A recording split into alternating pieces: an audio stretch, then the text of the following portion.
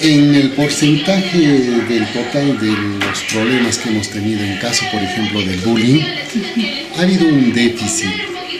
El año anterior eh, había una recurrencia directa aquí a la oficina porque no había ese programa ve, por ejemplo, del Ministerio de Educación. Tampoco tenía mucho de conocimiento en lo que respecta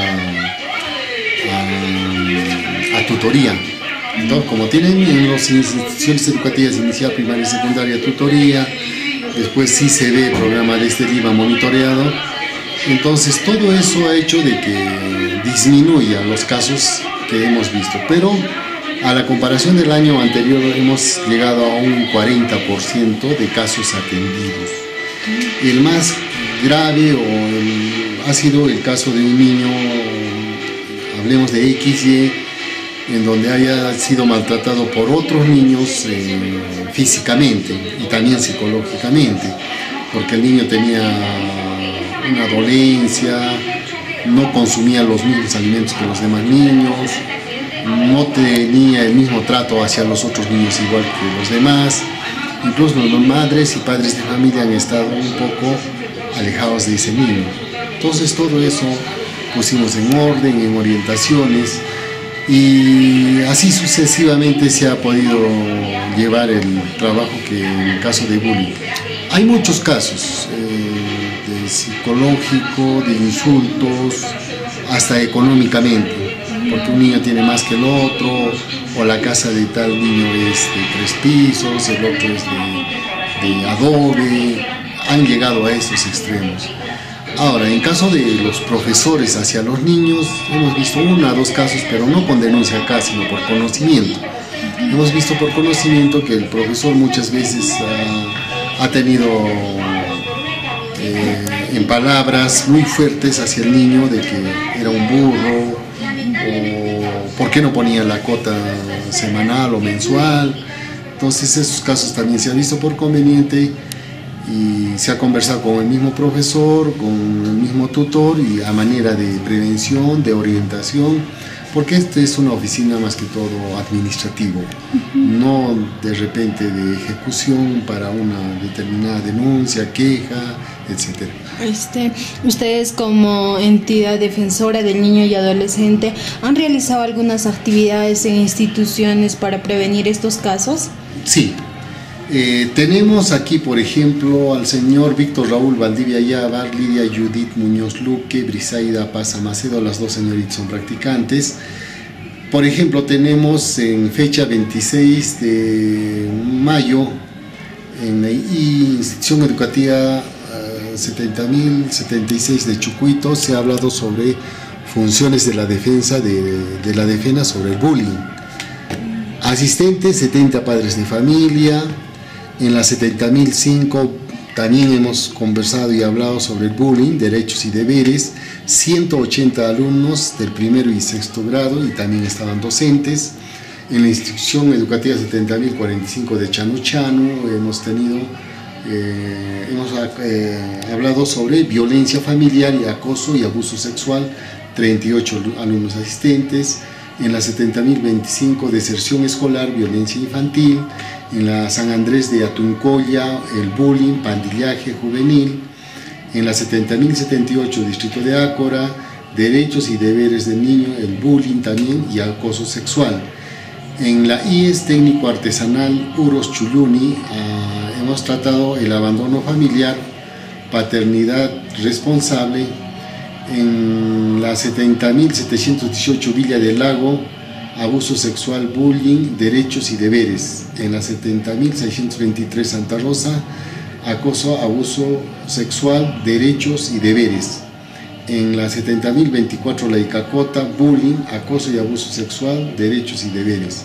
La Icacota 70.024, el bullying, acoso y abuso sexual, derechos y deberes, 28 alumnos del quinto grado C y D. En la institución educativa 70.024 La Icacota, el bullying, acoso y abuso sexual, derechos y deberes, 64 alumnos participantes.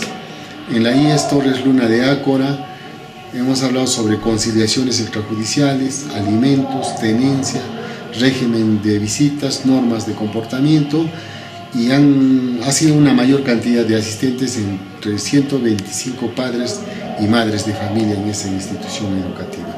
Este, eh, las actividades que ustedes programan, ¿es de acuerdo a, a, los casos que se ven en esas instituciones? Sí, ellos lo toman como un problema mm, transversal, un problema que se suscita y nosotros también los orientamos a los directores para que vean y prioricen los problemas que más tengan en su institución educativa y de acuerdo a eso cursamos el oficio, intercambiamos oficios para que nosotros nos apersonemos y tratemos en, directamente los casos que generalmente eh, puede suscitarse en una institución educativa o a manera de prevención se puede también anticipar, ¿no? Porque en las diferentes épocas del año eh, hay diferentes problemas, no son las mismas. Entonces, esa parte también hemos estado conversando con los directores, con los tutores y bueno, ya que estamos terminando el año escolar, ya se está llegando ya a realizar el plan anual de trabajo ya ejecutado y asimismo vamos a hacer el informe correspondiente a, a la Dirección Regional de Educación de Puno. Este, ¿Ustedes creen que las actividades que han realizado han tenido un impacto en el público objetivo? Sí, el impacto ha sido eh, de los actores educativos. Eh, incluso hay profesores que han tomado en cuenta para realizar una sesión de aprendizaje. Ese impacto se ha hecho con una socialización entre los niños. Hemos tenido informes, eh, comunicaciones con los directos profesores y se ha llegado incluso a realizar concursos donde haya menos violencia en la sección que haya eh, violencia, concursos eh, con premios de repente en donde se está realizando la cultura de la conversación, la utilizar palabras mágicas, el por favor, respétame o el buenos días, hasta luego. Y eso también ha sido parte de todo el trabajo y claro, ha sido una orientación eh, exclusiva hacia los docentes, padres de familia y los padres de familia también han, cambiado de actitud y esa actitud ha sido mostrada frente al director, a los profesores. Claro que el respeto debe ser mutuo entre alumno hacia el profesor, profesores también así viceversa y una comunidad educativa debe ser para que se encamine mejor en una institución educativa a nivel de toda nuestra región. Ese es el propósito de la Defensoría del Niño y del Adolescente. Este, para terminar, para el próximo año quizás se tienen pequeños proyectos para seguir con, trabajando, ¿no? A favor eh, de los niños y adolescentes. Sí. Eh, para el año siguiente ya estamos realizando el trabajo en cómo nosotros podemos promover y difundir más, ya no, tal vez el caso del bullying pasar en un segundo aspecto, ya estamos entrando eh, viendo los problemas, las noticias, que ya hay una violencia ya más fuerte de parte de, del pandillaje organizado. Por ejemplo, tenemos asaltos a medianoche aquí en Puno, en diversas partes de la región robos en casa. Entonces el niño eh, psicológicamente puede decaer, psicológicamente puede tener un impacto negativo. Entonces, tanto a los adolescentes y también hacer conocer en cada institución educativa la legislación educativa.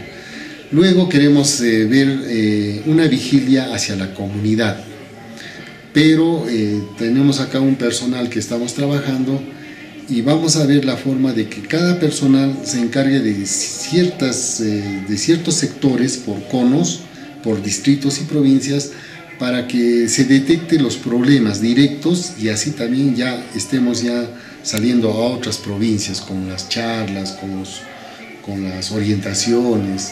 Esa difusión y esa orientación, de hecho que tiene que ser dirigido a la niñez y a la juventud. Luego queremos eh, promover el apoyo y las iniciativas de promoción del niño y adolescente. Esto va a recaer más que todo en los promotores, defensores de cada institución educativa. En cada institución educativa tenemos promotores defensores. Estos promotores defensores deben hacer conocer aquí los problemas directos y así nosotros vamos a tener, tenemos una relación estrecha, directa, constante con la Defensoría de Niño y Adolescente, con el municipio de aquí de Puno, tenemos también con la Fiscalía, estamos coordinando casos que de repente de dos a tres años se ha suscitado y que ahora se está ventilando el problema porque están repercutiendo en sus niños. Como los niños están en una edad escolar, entonces tenemos que tomar el caso de dónde ha partido y en qué problema, si ha mejorado o no el problema en su casa, eh, de repente ya no, hay, ya no existe problemas, entonces esas partes nos falta y esa parte yo creo que vamos a realizar con la participación de los compañeros de trabajo para realizar más que todo un trabajo óptimo, adecuado, de acuerdo a los intereses de cada provincia, de, cada, de los problemas eh, que atañe a cada provincia o distrito.